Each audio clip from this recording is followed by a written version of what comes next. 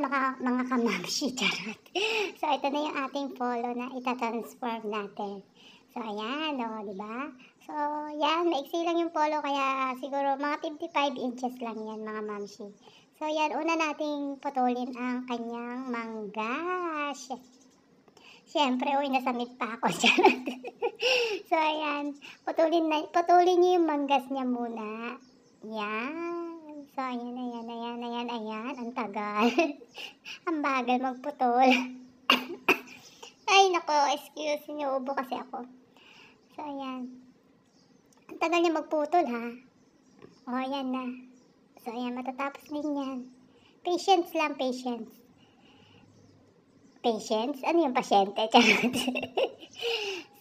So, ayan, binalibaliktad. So, ayan, ayus-ayusin muna natin. Ayus-ayusin natin para sakto yung measurement. Ayan yung measurement ko, char. Ako lang nakakaintindi niyan. so, ayan, ayusin natin, i-plot natin para maganda yung measurement. So, dun sa pinaka-top niya, yan. Basta, hindi ko alam yung measure niya. Basta, nag, ginuhitan ko lang siya ng straight. Yan, ginuhitan ko lang siya ng straight. Yun. Tapos, uh, yun, tinignan ko yung measurement. Tapos yun sa pinaka-middle, nag-measure, nag-measure ako dyan ng 13, 13 centimeter. 13. Tapos sa kabila, 13 din. Yan. Yan. 13 siya. Doon yung, ano, sa gitna. Tapos pabalik, 13. Both side, 13. Yan, ganyan. Ang tagal. Mainit. Okay. Okay, yung simula doon sa 13, mag, uh, nag-measure ako pa baba ng 5 cm. Yan, nag-measure ako pa baba simula doon sa 13. So, yan, hindi, hindi ma-close up.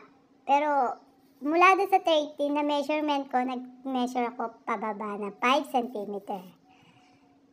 Okay, then pagkatapos dun sa 5 cm ko, palabas, nag-measure ako na 9 cm. Yung makita mo naman sa video na palabas yung sukat, sukat, sukat, sukat niya. 9 cm yon. And then, tapos, yung na 13 cm ko, tsaka yung 9 cm ko, char, ay pinagduksong ko yun. yun. Pagduksongin lang natin yun. So, yan. Sa pababa. Simula dun sa 9 cm ko, ayan, nagsukat ako. So, siya ay 55 cm yung haba ng damit. 55 cm siya. Simula dun sa 9 cm na sukat ko. 55 siya. So, maiksi lang siya. Kasi nga, depende dun sa polo na gagamitin mo. Kung, malaki, kung mahaba yung polo, mas better, mas maganda siya. Eh, maiksi kasi yan. Tapos, simula dun sa 55 cm ko palabas, nag-measure ako ng 5 cm. Yan. 5 cm. Char. Palabas siya ha, mga mamshi. Tapos yon kinunik ko yung 9 cm dun sa 5 cm pahaba. Para magka-forma, para maging forma parang palda. Kumbaga. Ewan, ano ba yun? so, next time, di-detail ko na yung measuring. Ang hirap kaya kasi mag-video, mag-edit. Tapos eh, ano, oh, yan, yan, yan, yan, gupitin na natin, yan, ginupit na, ginupit na, ginupit na. So, ayan, ganyan lang, gupitin nyo lang siya, yan, yan, yan, yan, gupitin nyo lang. O, oh, diba? O, oh, o, oh, oops! O, oh, yan, o, oh, diba? O, gupitin nyo din yung excess dun sa laylayan. So, ayan na yon ayan na. Ayan naman yung ating gagawing sleeve. So, ito, hindi ko na na-video yung ano. Pero ito ay galing sa sleeve ng polo. Galing siya sa sleeve ng polo. Asa ang sukat niya ay ano yan, 38 cm yung sleeve na yan.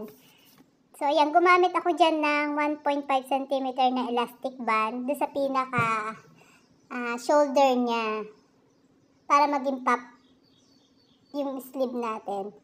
Oh, ba't ka umalis ate? so, ayan, hirap na hirap ako dyan kung paano ko siya tatayin. Kasi naman, hindi ako mananayon. Need ko pa talaga yung maraming, ano, more practice pa talaga. So, ayan, sinukat-sukat ko siya. Yan, yan, yan. Sinukat-sukat ko siya. Sa tinitingnan ko kung saan yung pinakagitna niya. Kumbaga, para magka-shape yung ating damit. ayan na, ayan na. Ang gulo talaga ng video mo, Ineng. So, ayan na yung final touch. Ito, final tahi na to, charot. ayan, ang gulo.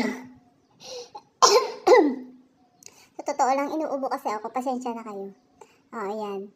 So, ayan, yun yung laylayan, tinatahi ko siya. Para naman malinis yung ating damit. Ako talaga hindi ako mananahi. Hindi ako nag-aral manahi. So, hindi pa rin ako ganun kapul, ka, kagaling manahi. So, marami pang kakainin bigas, ika ka. So, natutuwa lang kasi ako. Kaya ko palang gumawa ng mga DIY na, yung mga damit na ganito. So, nakikita ko lang to kasi sa mga online shop eh. Kaya tuwan-tuwa ako pag nakakagawa ako ng mga ganitong damit. So, yan ang tagal ni Ateng. So, yan, hindi niya maintindihan kung paano niya isasalpak yung damit doon sa makina. so, yan, natapos na natin yung laylayan. Ayan, tapos na ba, Ineng?